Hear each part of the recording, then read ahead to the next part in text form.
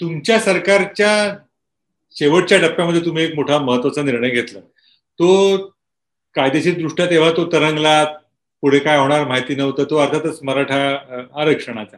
आता त्याचं ते त्रांगडं झालेलं आहे.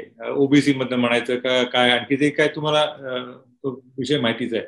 तर यातनं मार्ग काय असू शकतो? आणि तो त्याचा गाजराची पुंगी ती त्यावेळेलाही होती असं जाणवत नव्हतं का? महत्वाचं असं आहे की आम्ही कायद्याचा अभ्यास केला. आणि तो अभ्यास केल्यानंतर कायद्यामध्ये आपल्याला हे आरक्षण कसं बसवता येईल? या संदर्भात विधितज्ञांशी बोललो. वेगवेगळे जे न्याय निवाडे हे त्या संदर्भात दिलेले आहेत त्याचा अभ्यास केला आणि त्यातनं आम्ही मराठा आरक्षणाच्या संदर्भात एक पूर्ण त्याचा ढाचा तयार केला. मग त्यामध्ये पहिले काय केलं? तर इंदिरा स्वाहानींच्या निर्णयामध्ये जो बेसिक मानला जातो म्हणजे हो. ज्याच्यावर सगळं डिपेंडेंट आहे. बरोबर. त्या निर्णयाप्रमाणे आम्ही राज्य मागासवर्ग आयोग तयार केला. त्यांनी एम्पेरिकल डाटा जमा केला. त्या डेटाच्या आधारावर इतर समाजाच्या तुलनेमध्ये मराठा समाजाचं मागासलेपण हे आम्ही असेस केलं. आणि त्या असेसमेंटच्या आधारावर आम्ही कायदा केला.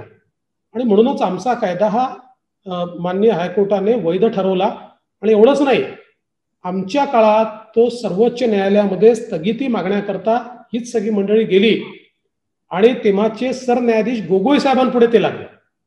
आणि गोगोई साहेबांनी सांगितलं की याच्यात काही म्हणजे स्टे देण्याचा मेरिट नाहीये. आणि त्यांनी त्याच्यावर स्थगिती द्यायला नकार केला. आणि त्यानंतर ती पिटिशन तशी राहून गेली. हे सरकार आलं. हे सरकार आल्यानंतर बेंच एक तयार झाला. तो बेंच तयार झाल्यानंतर पहिल्यांदा तिथे स्थगिती आली. मग तोच बेंचमधले तीन जजेस आणि अजून दोन जजेसचा मोठा बेंच झाला त्यात तो कायदा स्क्रॅप झाला. माझं म्हणणं एवढंच आहे या सगळ्या याच्यात आपण जर बघितलं तर या निर्णयामध्ये दोन गोष्टी महत्त्वाच्या आहेत. एक तर पहिली गोष्ट अशी आहे की याचं हँडलिंग जे आहे अनेक वेळा आपले वकील असं सांगत होते की आमच्या जो कागदपत्र आले नाहीत इन्स्ट्रक्शन आले नाहीत. आता एक महत्त्वाचा मुद्दा जो माननीय न्यायालयाने मांडला तो असा मांडला की त्यांनी आपल्या वकिलांना विचारलं का हो? हा जो काही गायकवाड कमिशनचा अहवाल आहे हा एकतर्फी आहे. याच्यात इतरांना ऐकलंच नाहीये. आता त्यावेळेस आपल्या वकिलांकडे त्याचं उत्तर नव्हतं. मुळामध्ये काय झालं? तर गायकवाड कमिशन सोबत सोळाशे पानाचे अनेक्शन्स होते. ज्याच्यामध्ये ज्यांनी मराठा आरक्षणाला विरोध केलाय अशा सगळ्यांना हिअरिंग देऊन आणि त्याच्यावर ऑर्डर पास केली होती. जस्टिस गायकवाडांनी इतकं उत्तम काम केलं होतं. Every single person was given hearing every single institution was given hearing and a reasoned order was passed एक रिझंट ऑर्डर त्यांनी पास केली होती. आता हे जर कोर्टासमोर गेलं असतं तर कोर्टाला ती एकतर्फी वाटली नसती.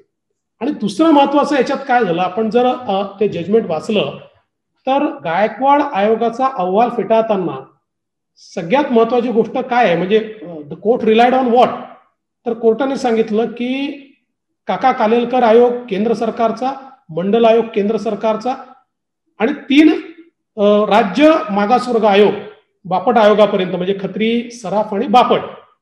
अशा पाच आयोगाने ज्यावेळेस मराठा मागास नाही असं सांगितलं त्यावेळेस सरकारने ते स्वीकारलं आहे. त्यामुळे साठ वर्ष महाराष्ट्र सरकारची कन्सिस्टंट भूमिका राहिली आहे की मराठा मागास नाहीये मग आता गेल्या पाच सात वर्षात म्हणजे बापट आयोग दोन हजार आठचा हो. सात वर्षात असं काय बदललं? की साठ वर्ष तुम्ही जी भूमिका स्वीकारताय त्यापेक्षा वेगळं. आता या संदर्भात या संदर्भात गायकवाड आयोगाने कधी विचारच केला नव्हता. त्यांनी एम्पेरिकल डाटा तयार करून मागासलेपणा सिद्ध करण्याचा प्रयत्न केला. त्यामुळे मला असं वाटतं की या संदर्भातला हा एक महत्त्वाचा मुद्दा आहे.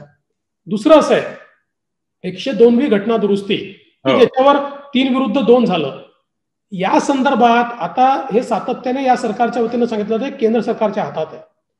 पाचही जजेसने सांगितलं कायदा करण्याचे सगळे अधिकार राज्य सरकारचे ते केंद्र सरकारचे नाहीत.